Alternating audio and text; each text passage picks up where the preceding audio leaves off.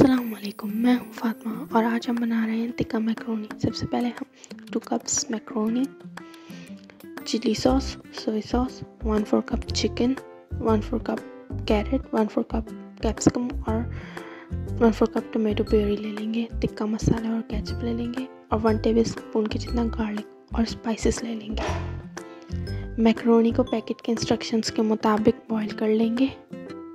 Salt और थोड़ा सा ऑयल डालकर फिर एक पैन लेंगे, उसमें टू टेबल स्पून ऑयल डालेंगे और उसमें one tablespoon chopped garlic डालेंगे। गार्लिक को गोल्डन ब्राउन फ्राई करने के बाद हम उसमें चिकन ऐड कर देंगे। चिकन को वाइट होने तक कुक कर लेंगे। अब इसमें कैरेट्स ऐड करेंगे और टोमेटो प्योरी ऐड कर देंगे। थोड़ा सा कुक कर लेंगे। अब स्पाइसेस डालने की बारी है। सबसे पहले सॉल्ट रेड चिली पाउडर और हाफ़ टी स्पून ज़ीरा पाउडर ऐड कर देंगे।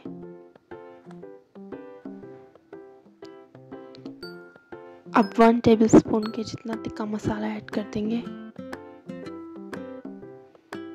हाफ़ टी स्पून काली मिर्च और अब इसमें कैप्सिकम ऐड कर देंगे और टू मिनट्स के लिए कुक कर लेंगे।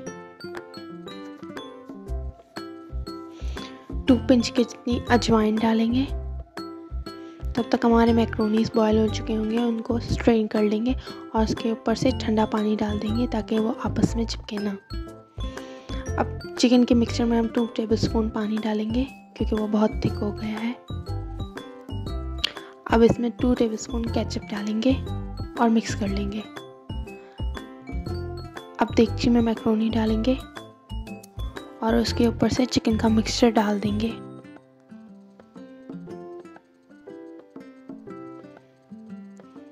अब सोया सॉस और चिली सॉस ऐड कर देंगे इसके ऊपर।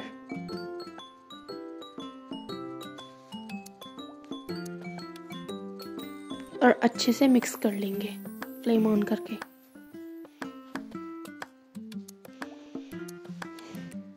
Thank you for watching the recipe please subscribe subscribe to my channel foodie Fatma अल्लाह हाफिज़